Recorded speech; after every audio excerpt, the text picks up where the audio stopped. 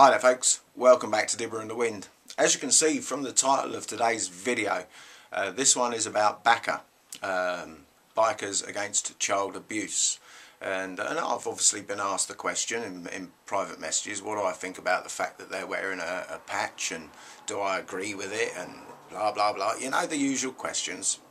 So today I'm going to touch on it. Um, I'm not going to spend loads and loads of time about what this organisation does because what I would like people to do that have never heard about BACA before, what I would like you to do is go and check all the links and stuff that I've actually that I'm going to put down there in the description. I want you to actually go and have a look at this organisation yourself. Uh, then you'll be able to truly understand what the organisation is all about and what these people do on a daily basis for children that have been abused.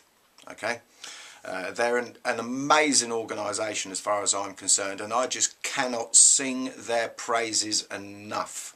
I truly can't. I have absolutely no objections whatsoever to an organisation like this operating.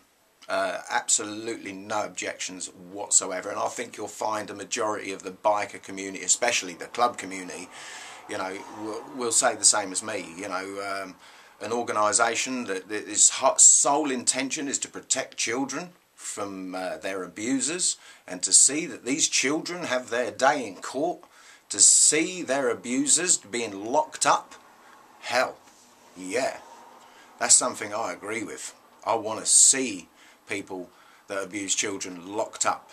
It's very rare that I will ever talk about my own personal life, people in my life on my videos. But I have my own reasons for having respect for these guys and these girls in this organisation.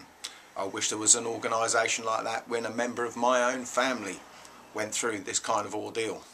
Uh, it, you cannot believe until you've been through the ordeal or a member of your family or a friend of your family, someone that's connected to your family, until you've seen them go through something like that, you cannot even begin to imagine the suffering that these kids go through. It is that simple.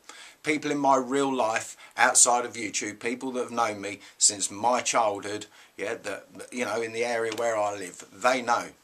They already know that a member of my family has actually had to go through this themselves. This is no bullshit. This is straight up. This is gospel, honest truth, hand on heart. You know, my family have been through this. So an organisation like BACA, I have absolutely nothing but pure and utter respect for these guys.